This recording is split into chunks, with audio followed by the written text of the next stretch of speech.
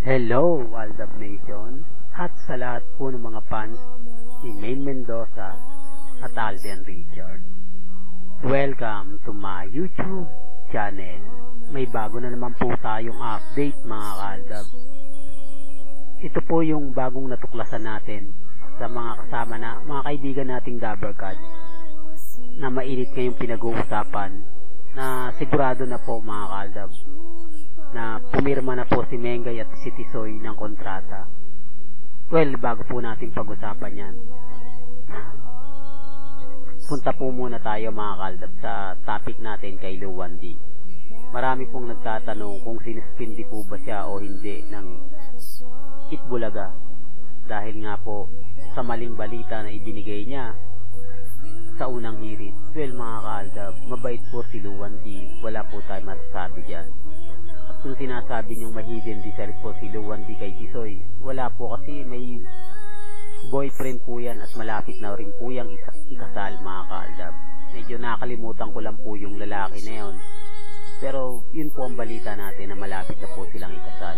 At alam po naman natin na isa rin po siya nagpupus kay Tisoy at kay Mengay. Kaya para sa akin lang po mga kaaldab, opinion ko lang po ito dahil wala naman po siyang ipinakitang hindi maganda sila Mengay at Tisoy. Dahil alam po naman ng mga Dabbercat na malapit na rin po siyang ikasal. Well, sa pagsuspindi niya mga kaldab, hindi ko naman sinasabing suspendido siya mga kaldab. Pero ito raw po ang bali-balita na medyo may kaparusahan po raw ang pagbabalita niya ng mali. Well, sabi ko nga po eh, gawa-gawa lang po yan ng, ADA, ng GMA Network kaya hindi niya naman po yan nasasabihin niya, di po ba mga kaaldab?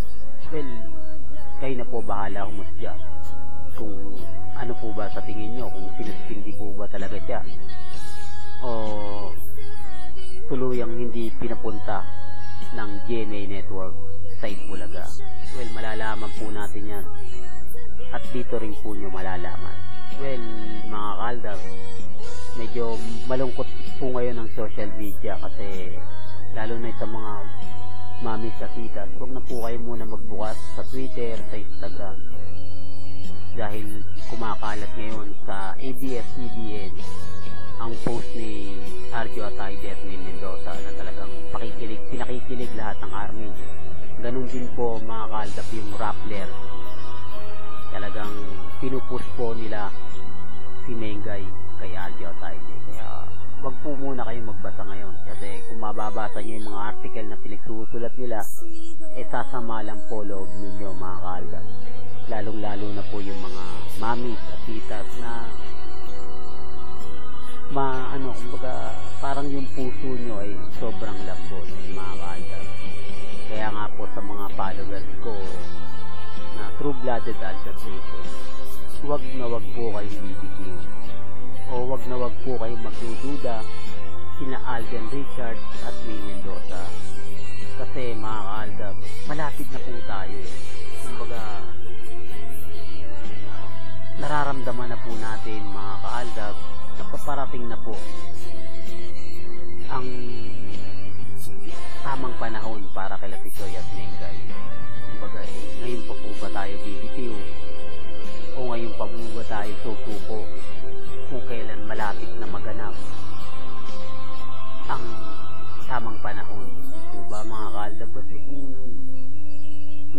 po kayo BBQ para kila Mengay at Isoy, eh magsisisi lang po kayo mga kaldab kasi nararamdaman na po ng buong Aldab Nation ang paparating kumbaga mga kaldab. Kasi nga po eh yung tinatagong-tagong lihim o katotohanan ay lalabas na po.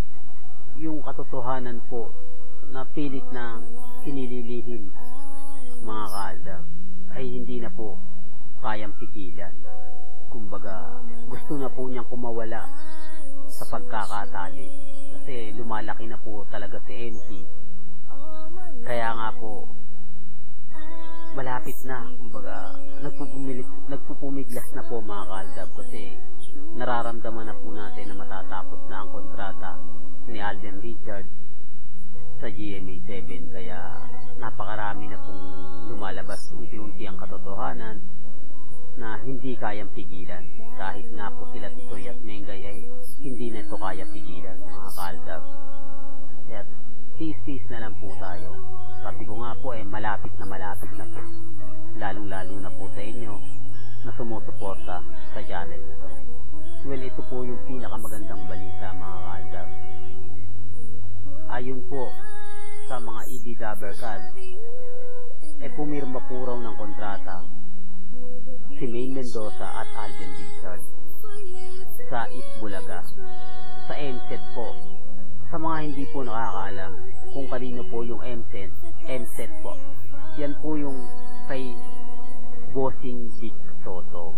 Doon po sila pumirma ng kontrata. Ganon din po si Tisoy kasama si Mengay. Bali yung kay Tubiera po mga kaldar sa APT Studio ay pagmamayari niya yun. Pero hindi po sa APT Management po pag may may-ari ni Mike Tubiera. Hindi po pumirma ng kontrata ron sila Tisoy at Mengay. Kaya nga po nagbago na. Napunta na po kay Mayor Halushos ang pagmamayari ng Itbulaga mga kaldar. O APT siguro mga. Masyado po kasing closure po yung pinag-usapan pero ayon po sa ating reliable source na talagang pumirma po ng kontrata 103% po. Dahil ang pinaka maganda dyan mga kaldab is si Bossing na po ang may hawak sila Tisoy at Mengay bali ang dagit po ay last na po ito last ng teleserye ni Tisoy sa GMA 7 nakakaldab kaya marami na pong magagawa kapag ka nagsimula na po. Matapos ang exclusive na kontrata ni Tisoy sa GMA Network. Kaya malapit na malapit mo yun na lang po kasi ang hinihintay para masimulan na po ang mga nakasila at napakaraming project para sa Aldab mga maghantay-antay na lang po tayo. True po yan mga kaaldab 101% talagang pumirma na po si Tisoy at si Mengay. Kaya sabi ko nga po huwag kayong magtampo kay Tisoy hindi mo natin na nakikita sa Itbulaga eh gumagawa pa rin po siya ng ninja book. Sabi ko nga po eh sinundo niya po si Mengay sa Batangas pagkatapos ng taping ng Daddy's Girl. Dahil ang lapit lang naman po ng bahay niya sa Laguna. Ilang biyahe lang naman po galing kang Laguna sa Batangas. Diba? at yung sa mga nagsasabi po na pinababayaan eh hindi po. Wala pong katotohanan yun. Gawa-gawa na lang po nila. At uulitin ko mga kaalab mga mami at tita huwag na po kayo magbukas ng Instagram Twitter kasi kumakalat po talaga sa social media ngayon ang vlogs ng ABS-CBN tungkol kay Arjo Asayde at May Mendoza na pinalalandakan nilang magkasintahan po yung dalawa. At ang Rappler naman po, mga kaaldam, eh napaka maiksing salita pero may may laman mga kaaldam. Although maliit po yung title nila, maiksi lang po yung title pero may laman. Kumbaga mga kaaldam. Kaya para po sa ikakabuti po ng mga mami na medyo malamya ang puso, eh wag na po kayong magbukas dito na lang po kayo sa channel na to para good vibes po kasi kasi pagka nabasa nyo sasakit lang yung dibdib ninyo sa mga pinagagawa nila hindi po ba kasi sa totoo lang yun lang talagang picture na pinag kakalat lalong lalo na po si Jude Palaboy na sinasabi niya na ayaw niya na raw sa karera ni Yaya Dab. Biruin nyo pati ba naman yung post ni Alden Richards at ni Catherine Bernardo eh sinisi kumbaga nire-share niya pa mga kaaldab binabalik ni Pauli ganyan po ka-desperado. Hindi ko nga po alam kung bakit. Napakalaki na ngayon ang galit niya sa Aldab Nation. Dati kay Mengay ngayon bumaliktad na sa Aldab Nation na po siya galit. At pinapakita niya na ang buong pagkatao niya. Kumbaga kung bakit siya galit eh malapit na po natin malaman. Hindi lang po natin alam kung saan saan nagsimula at kung saan siya natapos, di po ba? Well, hanggang dito na lang po yung update natin. Comment po kayo sa baba mga kaldag para nalalaman ko lahat ng mga hinanain nyo at mga gusto nyong sabihin sa akin mga kaldag. Hanggang sa muli, salamat sa panonood.